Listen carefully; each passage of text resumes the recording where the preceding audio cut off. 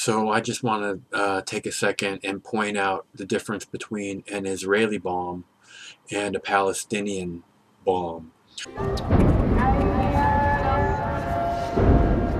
A pregnant Palestinian mother and her daughter are killed in an Israeli airstrike on Gaza. Israel says it was responding to rocket attacks. A Palestinian woman set off her explosive device after being stopped at a checkpoint in the West Bank. Uh, she was seriously wounded. Uh, a nearby road officer also received uh, some injuries. Let's show you some of the latest pictures you're looking at right now. It's uh, the first suicide bomb attempt during current tensions in the region. It comes after the Israeli Prime Minister mobilized reserve border police in a move to boost security.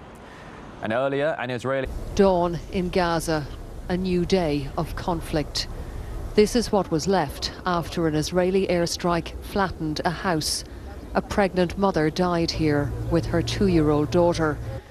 But the difference between, you know, uh, a Palestinian bomb, you know, what they call a bomb, not the Palestinians, the Israelis, and and all the media everywhere, oh, Israeli bomb, I mean, pa Palestinian bomber at a checkpoint. Give me a break. Do you see this car? Do you see it? There is the wind. The windows aren't blown out. You know, there's no glass broken. Okay, and and what I really find interesting about this car is that in these in these first images you can see the Israeli forces all over this car inside outside and the car is pretty much completely undamaged right there's nothing wrong with it as far as you can tell from looking at the car. And what probably happened is, you know, th this image got tweeted around as, you know, suicide bomber attack, sets off bomb at checkpoint, right? And people are like, there's not even any broken windows or any damage to that car at all. Right? And if you look at it, it doesn't show. But then in these later pictures that show up, oh, you see the front bumpers all falling off and and but whatever happened in these first pictures you can see, it's already happened. The Israelis are inside, outside the car. They got the trunk open. They got the hood open. They, you know, they've checked it.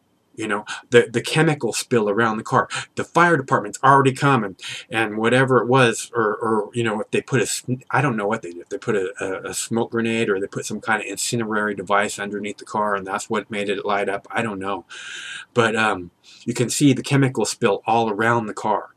So it's not like. Uh, you know, the event hadn't already happened.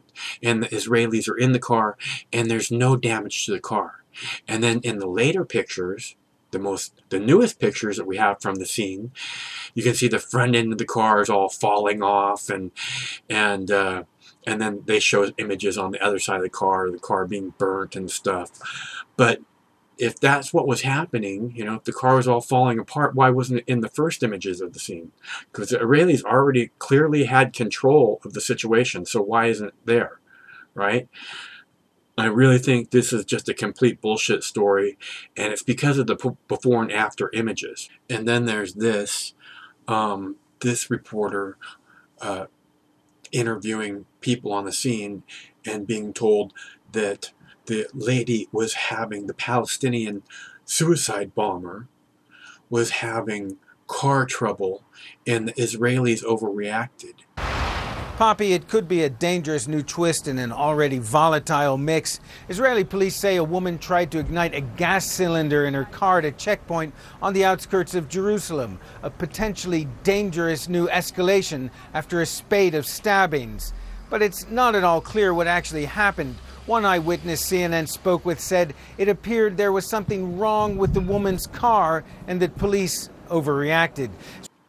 And that's why, and now they had to make up this story so that they have a reason for executing yet another Palestinian woman who is completely no threat whatsoever.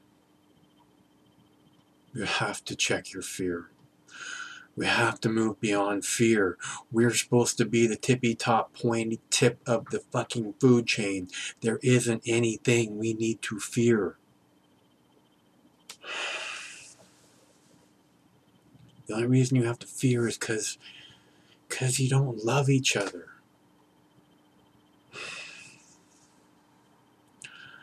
Okay, so anyways, Palestinian bomb bomb.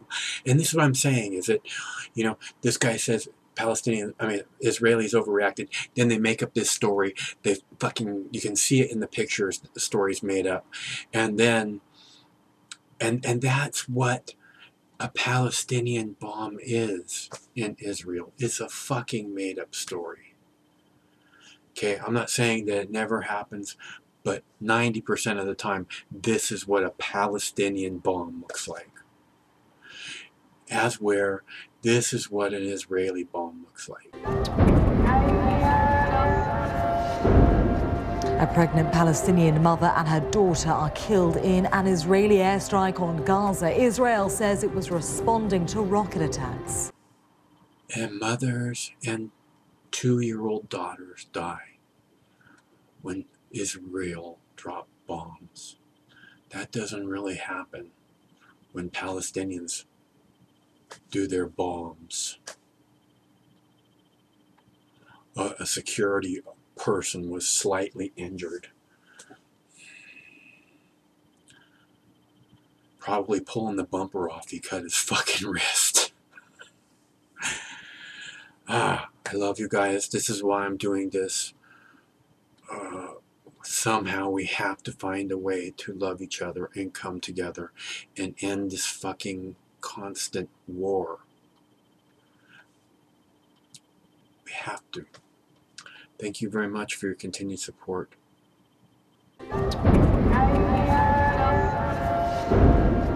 A pregnant Palestinian mother and her daughter are killed in an Israeli airstrike on Gaza. Israel says it was responding to rocket attacks.